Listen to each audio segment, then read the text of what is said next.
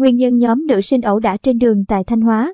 Cơ quan công an đã vào cuộc xác minh clip ghi lại cảnh nhóm nữ sinh ẩu đả tại Thanh Hóa và làm rõ nguyên nhân vụ việc.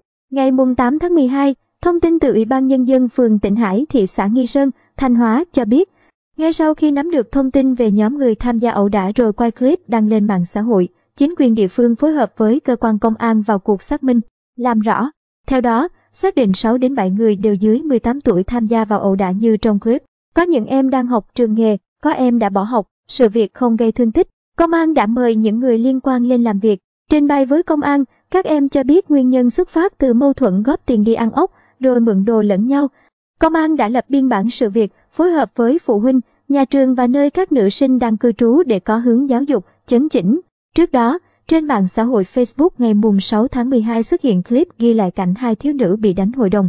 Qua hình ảnh cho thấy có một nhóm hơn 10 cô gái trẻ dùng tay đánh tới tấp vào mặt hai cô gái, thậm chí có người dùng chân đạp, dùng mũ cối đánh vào người, mặt. Đáng nói, dù có rất đông người có mặt tại hiện trường nhưng không ai tiến tới can ngăn.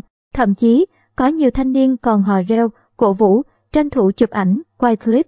Ngay sau đó, cơ quan công an đã vào cuộc làm rõ sự việc.